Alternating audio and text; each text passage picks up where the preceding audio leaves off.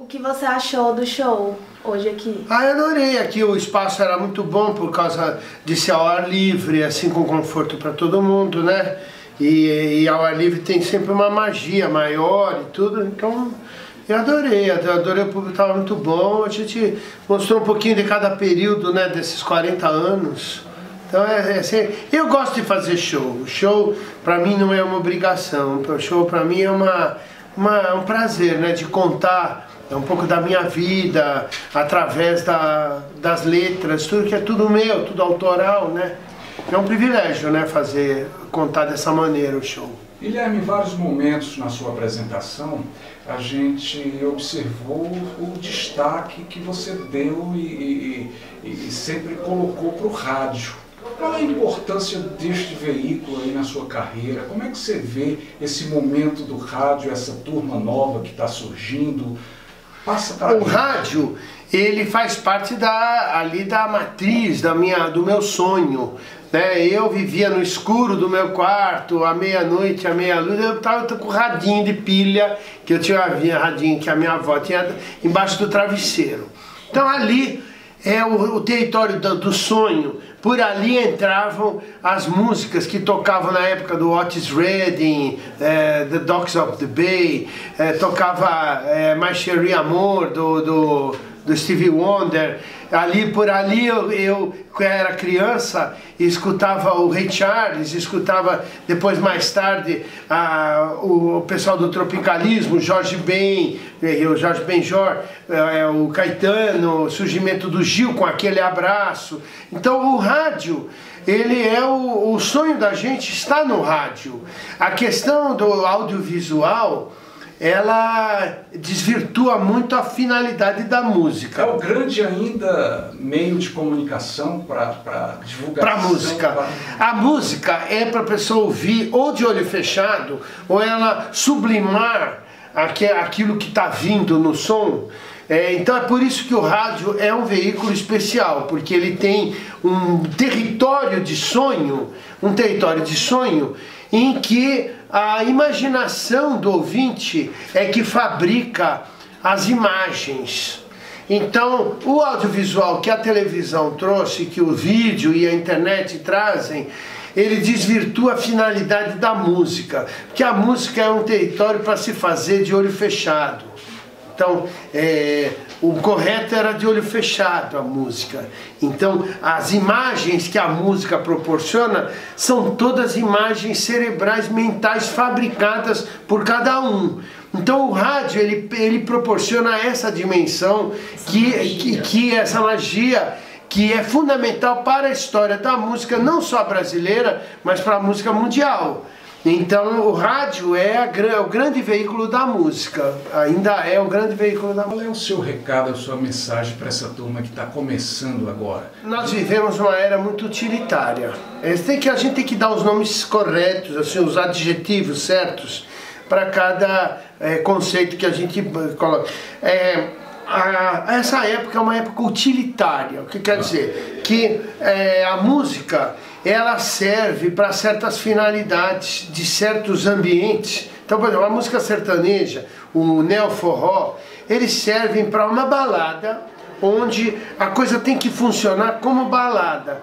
Então ela é circunscrita a uma preocupação é, de funcionar, é ser funcional, ser utilitária ela não é uma, a música que se faz hoje, não é uma música que, que, que derivasse outros sentimentos. Por exemplo, quando eu era adolescente, a gente se reunia para ir no show do Milton Nascimento, para chorar todo mundo junto. Chorar o quê? Chorar a emoção do Brasil, da falta de democracia no Brasil, ou para chorar a preocupação do jovem e a, o deslocamento do jovem num mundo, né, num mundo perverso.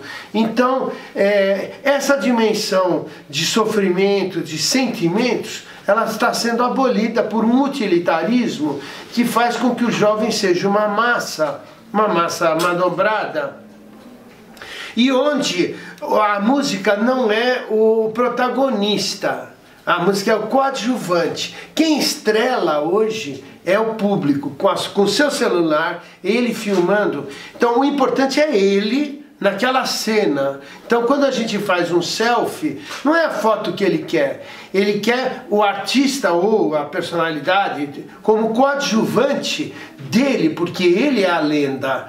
E cada um trabalha a sua lenda. Nós estamos numa era de, de uma, uma inversão total da, da relação, das relações humanas e das relações com a cultura, das relações com, com os produtos culturais, com o uso da, da, das coisas, o caso da música. Então a música se torna utilitária, ela se torna um pano de fundo para um fenômeno que é, é o público estrelando o seu próprio canal de televisão. Olha eu no festival tal, olha eu no Rock in Rio, olha eu. Não é mais ele é, perante um ídolo. Isso é o de menos. O que ocorre ali no palco, quem está no palco, é, é, é, de pouca importância. O que interessa é o público, que ele é o protagonista. Então, essa mudança total de, é, fez com que as letras, nós passamos um momento também no Brasil de uma depauperação da educação, da cultura, da leitura, uma crise no mercado livreiro,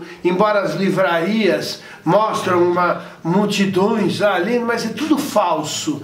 Ninguém lê nada.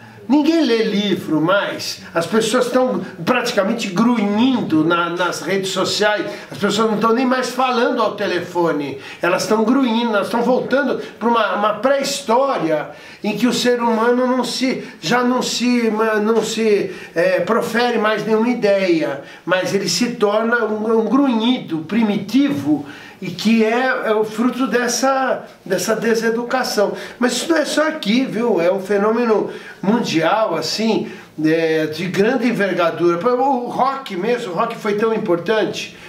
O rock foi engolido pelo gospel.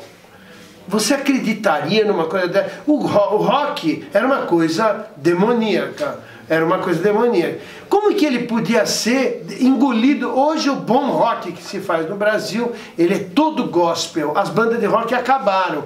Os roqueiros estão todos tocando para louvar ao Senhor, louvar as, as igrejas. Isso são inversões de uma época maluca, né? O que você poderia imaginar? O rock ele é cheio de cruz, de, de é, signos é, góticos, de Ozzy Osbourne, de, de demoníaco, de, Iron Maiden. Como que poderia o rock ser engolido pela, pela conversa evangélica e gospel? É porque ele já estava muito perto ele falando do demônio, ele já está falando muito perto de Deus, entendeu? Então é muito louco. Aí, o que aconteceu é inacreditável nos últimos anos, as coisas que aconteceram no Brasil, no mundo também. Então, eu acho que a gente tem que olhar numa, numa perspectiva positiva. Eu acho que a humanidade caminha para uma melhora assim, no overall das coisas, idade média, serviços médicos, é, operações de catarata, é, disfunção erétil, cada coisa que foi, foi resolvida, uma pílula lá, o cara não tem que se preocupar mais que, que a disfunção. Isso não é um dramalhão da história da humanidade, que o homem não, tava, não funcionava. E outras coisas que a mulher hoje tem reposição hormonal, você tem o catarata, os velhos ficavam cegos aos, aos 40 anos, a pessoa aos 40 anos já está uma catarata lá que não tinha como operar. As operações de catarata hoje pelo SUS, feitas com laser, e a, a velharada toda enxergando a cores de novo. Todo. Então isso é uma, são coisas positivas de uma época que é paradoxal, né? Então, sei lá, por um lado é muito louco a cultura que se vive hoje, mas as coisas são menos precárias também, não é tão. É, a sociedade vai caminhando, né? Sei lá, eu acho uma esperança a, a longo prazo, assim, é uma esperança. Para o Brasil, o momento que ele está vivendo é ótimo. Tudo que essa lavação de roupa suja que ninguém aguenta mais, é decisivo para mudar a história do Brasil, porque é um processo educacional, as pessoas entendendo, qualquer faxineira, motorista de caminhão, de ônibus, ele tem acesso às informações e sabe como que rouba, como que é essa mecânica da. Ele sabia que roubava, mas não era língua corrente. Como é que se faz essa roubada? Então isso aí é uma coisa incrível, são novidades, né? E a informação acho que é, é fundamental, é o grande diferencial da nossa vida. Quando vi logo ali